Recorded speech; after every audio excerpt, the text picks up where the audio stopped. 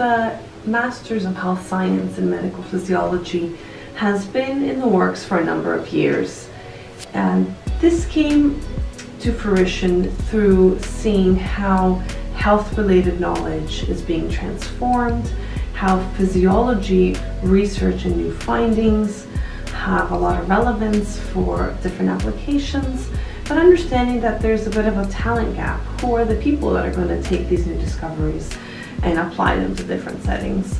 So while there are a set of students that are great at research and want to generate new findings, we have a need for graduates that will be able to interpret those new findings, whether it be new data findings, whether it be new compounds at the bench and so on, and how to move those forward to different applications related to health.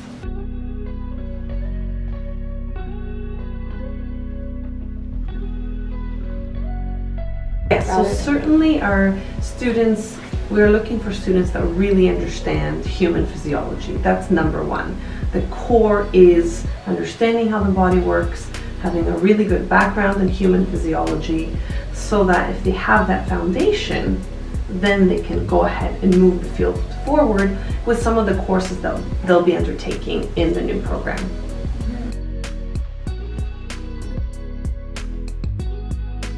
Under, uh, undertaking a new program proposal, especially in academic settings, of course, um, takes on a number of different steps. There's a lot of internal and external consultations that have to take place, so both within the university as well as potential stakeholders in the community and others.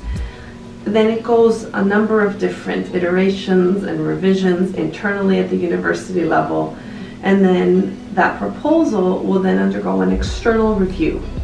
So faculty members from different institutions have to come in and have to spend the day reviewing the proposal, talking to the potential people that will be affected, other departments and so on, and writing a report. If that is favorable, then we can move on to university governance, so moving it through the Faculty of Medicine in our case, eventually to the central administration at the whole university-wide level. And then once the university approves it as a proposal, then being in Ontario as a publicly funded university, we have to undergo these external bodies as well. So Ontario Quality Council provides the approval of the program and then the Ministry of Training Colleges and Universities at the Ontario provincial government level has to also approve the program and we're happy to say that we have received all the approvals at this point. I'm proud to say that this program is very unique in Canada and especially I would say even in North America. What makes it unique is we're taking students that have a very good, as I mentioned, background in physiology. We're going to add to that. They are going to be taking rigorous courses in human physiology, but they're also going to be taking courses that are unique to our program. We have a new course called Big Data and Health. So this is going to address questions around wearable devices. A lot of us are walking around with smartwatches and so on. Who can interpret that data? You know, we have a lot of software engineers and people that are really smart on the data side of it, but when it comes to what it means, what does that ECG mean for human health? How is that going to affect that patient's health? All of those aspects of it, that angle is where our graduates are going to come in to be able to interpret those findings. We also have a new course in commercialization and collaboration physiology, and that's co-taught by faculty members, um, people that are involved in terms of the biotech sector, as well as faculty from the Rotman School of Management. So through different angles, we're going to see how different discoveries can come to market. Also, clinical physiology is a new course whereby clinicians are going to come in and show the students how the research that is being done on the bench can affect their day-to-day -day practice with their patients. Students are also going to be undergoing a lot of professional development, uh, a mentored literature review where they're really going to in-depth look at a certain topic in physiology. And then finally, in the third term, we have a practicum placement where students can get real-world experience. And all of that is being done in the span of one year. So all of those aspects together make our program very, very unique.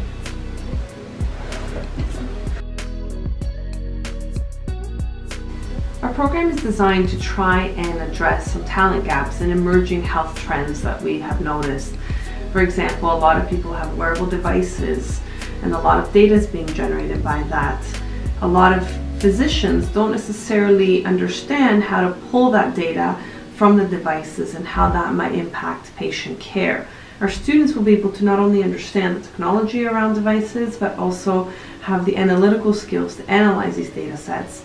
But because they understand human physiology so well, they can also have conversations with a physician to see how that might affect cardiac care, for example, cardiovascular care for that patient, as an example of different ECG patterns that are seen on wearable devices. Also, some of the larger we call them wicked health problems, um, have to do with these very large multifactorial issues such as obesity or diabetes that are best tackled by multi-investigator teams that have a number of different research areas.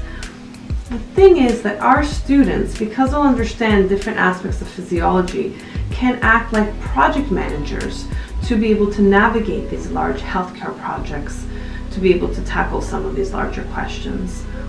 So going into this idea of interpreting data sets related to health, um, having multi-investigator teams working on larger research projects together, as well as really pushing the idea of commercialization and bringing new discoveries to market, all of those aspects are going to really help um, support health emerging trends moving forward.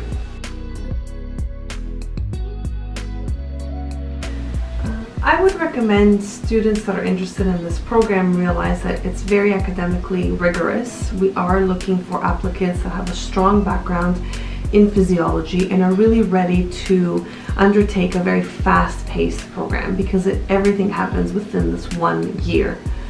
So certainly a strong background in physiology is a must and we're looking for students that not only have bachelor's degrees in physiology or kinesiology potentially, but we also foresee people that already have health related degrees in medicine and so on that may wish to enter into this program to better inform their practice and in terms of how their own profession is shaped by all these other healthcare trends, as I mentioned, in terms of big data or commercialization of some findings and so on. Students in our program are going to be able to undertake a four-month practicum placement at the end of the program. And this is in a variety of settings. As you can see, we're actually here in the Discovery District in Toronto, where not only research labs are placed, a lot of biotech companies, startups, and new innovation hubs are here to really bring these discoveries forward to market. We want our students to be able to have the opportunities to get real life experience working in these settings. We foresee our students will be placed in startup companies as well as settings whereby people are analyzing big data sets both in large companies as well as clinical settings as well. Our physiology department has a long history from the discovery of insulin 100 years ago to a number of other um, contributions world of physiology and medicine and we want to continue on that, to build on that legacy, not only with the basic research that is being done, but really through this program to really create a new pool of talented graduates to contribute to the field moving forward.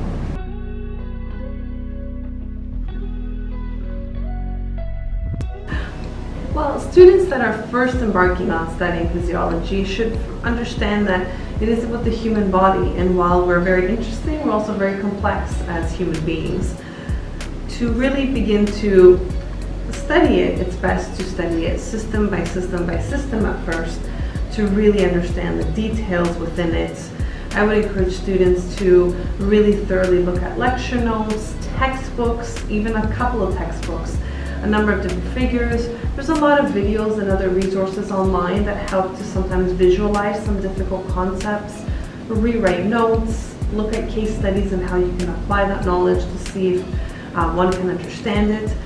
And then ultimately, we have to understand that all these systems talk to each other. So really, we need to be able to integrate afterwards all the different organ systems to really see how that whole interplay happens in the human. As they, as students undertake a first introductory course in physiology, I would encourage them to have an open mind and really um, appreciate the complexities of all the different systems. And then students will at different times potentially have a certain interest in a specific area, whether it is through the research opportunity that they were able to get, whether it is a very engaging faculty member that they had, or sometimes there are personal connections to pathophysiology, like a disease in their family or something that really speaks um, to sparking an interest in that student in that field. However, understand that, again, all of these systems are interrelated and students should have an open mind. In my studies, I began studying the immune system at first and immune cell signaling. That led to autoimmunity, autoimmune diseases, type 1 diabetes is has an autoimmune component. And then from that, that sparked more of an interest in endocrine physiology to me. And of course, we know that endocrine physiology touches upon all kinds of different organ systems. So I would encourage students not to necessarily be very narrow or be too worried about which physiology aspect to really pursue. Have an open mind, pursue what interests you, and it's okay to, to be fluid amongst different systems. And in fact, most research these days that happens really takes into account different organ systems to tackle these larger health questions.